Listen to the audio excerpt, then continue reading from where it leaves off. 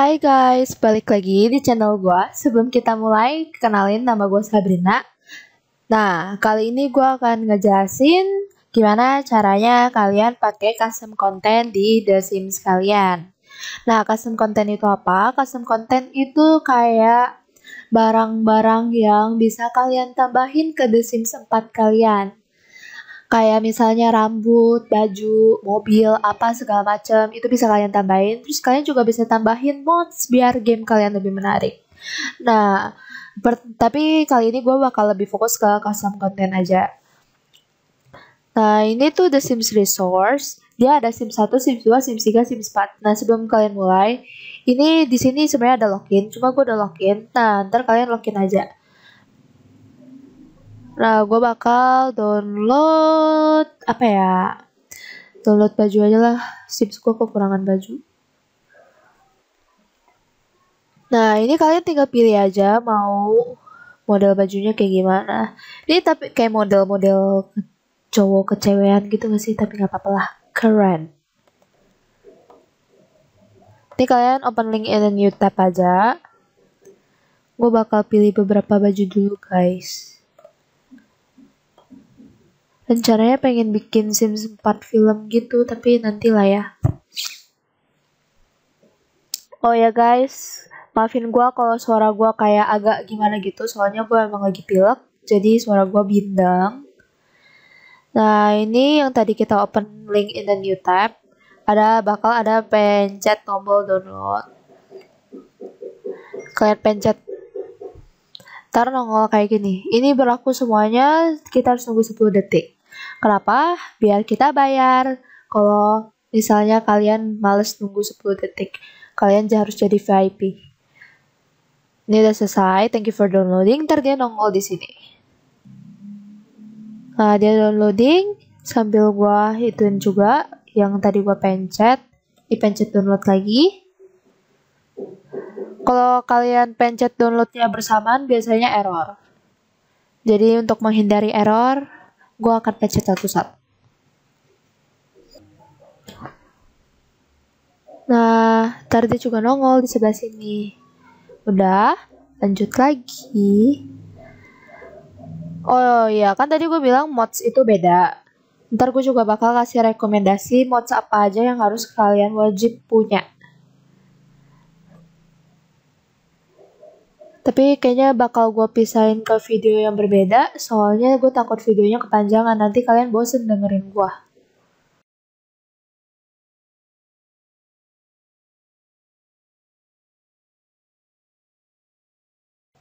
Nah ini udah download juga, pencet X, terus ini yang terakhir gue download, ntar gue langsung tunjukin di gamenya. Kalau misalnya kalian juga mau tahu gimana caranya download SIM 1, SIM 2, SIM 3, silahkan komen. Nanti gue bakal buat kalau misalnya kalian emang pengen. Jujur gue lebih suka Sims 3 sama Sims 2. Sims 4 tuh grafik oke okay lah. Emang dia yang grafiknya paling maju. Cuma maksud gue fitur yang bagus di Sims 2 sama Sims 3 tuh diilangin di Sims 4. Kayak misalnya di Sims 3 kalau kita pindah tempat gak perlu loading screen. Terus kalau misalnya kita ke mana-mana bisa naik mobil, motor, sapu terbang, sepeda. Ya SIM 4 sekarang bisa sih sepeda, cuma dia tetap aja kan kalau ke mana-mana loading screen. Ini udah selesai download semua. Gua X dulu. Nah, gue pencet folder kalau kalian udah main Sims, biasanya kalian bakal ada save gitu. Nah, biasanya kalau Sims 4 ke save tuh biasanya ada di documents. Bentar guys, ini loading. Udah di sini, kalian pencet download. Soalnya kan downloadsnya di situ. Kita Ctrl X alias cut. Kita ke documents. Kita pencet electronic arts Nah, ini ada The Sims 3 sama The Sims 4. Karena gue main Sims 3, makanya di sini ada Sims 3. Nah, ini gue bakal masuk ke Sims 4. Kalian pencet folder mods. Nah, kalian di sini pencet Ctrl tambah V alias paste. Nah, udah ke paste. Sekarang gue kasih lihat gimana kalian aktifin di Sims 4. Kalian buka Sims 4 kalian ya, kayak biasa, diklik.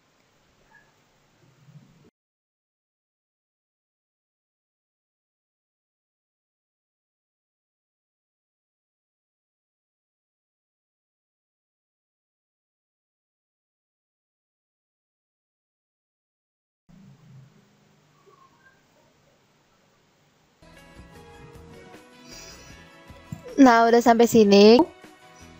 Ke game option. Kalian ke menu other.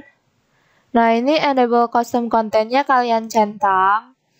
Sama terus pas kalian pencet ini, ntar ini bisa diklik. Nah, itu centang juga. Terus kalian pencet apply changes. Habis kalian apply changes, kalian exit game, terus buka lagi. Nah, karena gue udah aktifin, jadi gue nggak bakal contohin. Tapi kalian ikutin aja sesuai perkataan gue tadi, kalau enggak modsnya nggak bakal nongol. Jadi istilahnya kalian mesti restart gamenya. Gue bakal nunjukin kayak Kids a Sims new game aja berarti.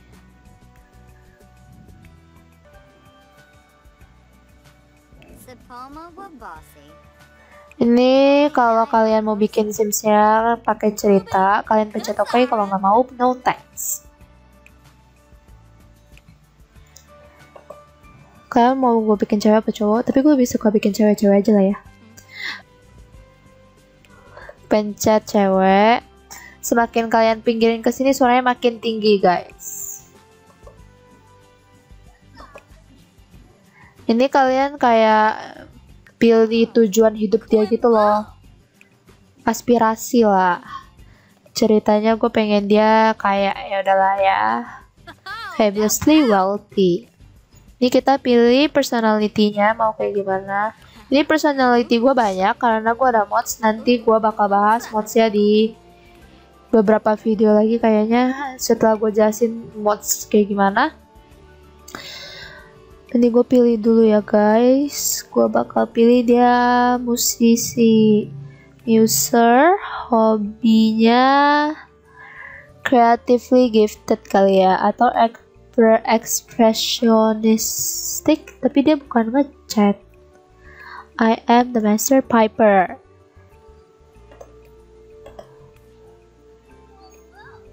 Terus ini lifestylenya gue bakal bikin dia dance machine. Kan ceritanya dia hobi lagu banget.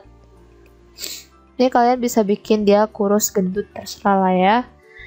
Kita standar aja lah jangan kurus-kurus ntar kayak tulang Nah, karena gue ada fitur yang kurang enak buat gue tampilin di video, gue bakal pakein ini dulu guys.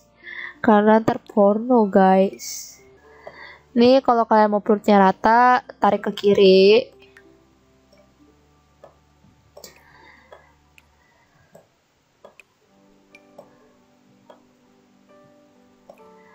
Eh tapi kalian bosen gak sih kalau liatin gue bikin Sims?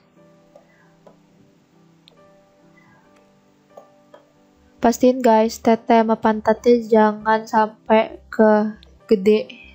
Beda gedenya. Ya biar proporsional aja sih. Udah langsung ke muka aja deh. Karena gue ada download skin gitu skin tone. Langsung dipilih aja. Nih. Ini kalau dia kostum konten dia pasti ada tanda ininya guys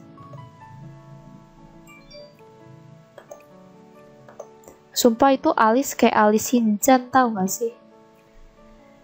Uh, alisnya ganti dulu.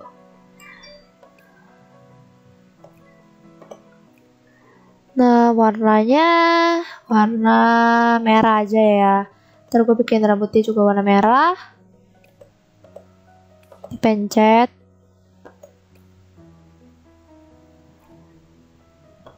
Nah udah kita edit-edit mukanya maksudnya di setting ram mukanya lah. Ini mata dia sipit banget gak sih? Nah udah. Kalian bisa pencet detail edit mode. Itu bakal bikin dia lebih detail lagi. Oke gimana? Ini gue ngerasa hidung dia kayak dioplas anjay. Um, bibirnya juga bisa kalian bikin tebal, tipis, terserah. Ini juga bisa diturunin, mau dibikin judes kayak kayak begini. Atau mau dibikin selalu senyum, biar gak judes. Karena capek guys kalau dikelihatannya judes. Nah ini rahangnya bisa kalian geser. Eh sabar dagunya yang kegeser dong. Nah nih ini maksud gua. Jangan jangan jangan digeser lucu. Ini bisa kalian mundurin juga bibirnya. Tuh. Udah. Kalian bisa bikin Sims kayak artis sebenarnya kalau misalnya kalian mau. Tapi ribet gak sih? Gue kurang demen kalau bikin kayak artis karena gue pasti butuh waktu yang lama. Tadi gue download baju, ntar gue tunjukin. Dia bakal langsung nongol guys. Kalian scroll-scroll aja pokoknya. Nah ini kayak soft lens gitu guys.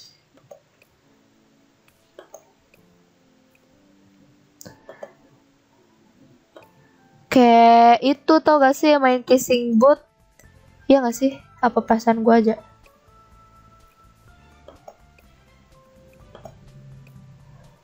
mau makeupnya tebal juga bisa karena make tipe-tipe makeup yang disediain itu beda-beda sesuka kita mau makeupnya ke barat-baratan atau ke Korea Korea kayak uni-uni uni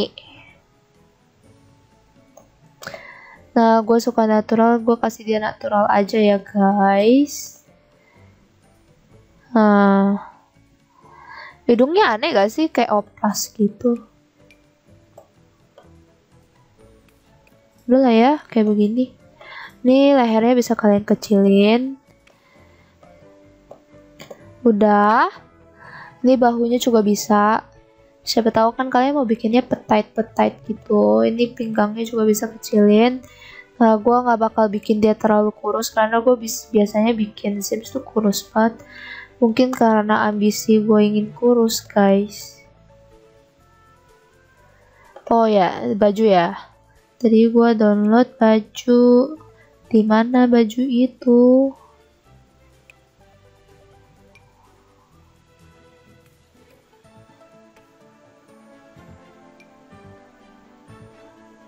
Nah, ini baju yang tadi gue download. Nongol, guys. Nah, ini tinggal kalian pilih mau warna apa. Video kali ini gini aja. Nah, kalau misalnya kalian ada kritik dan saran atau pertanyaan, boleh kalian tulis di kolom komentar. Kalian juga jangan lupa subscribe dan nyalain lonceng biar nggak ketinggalan next upload video.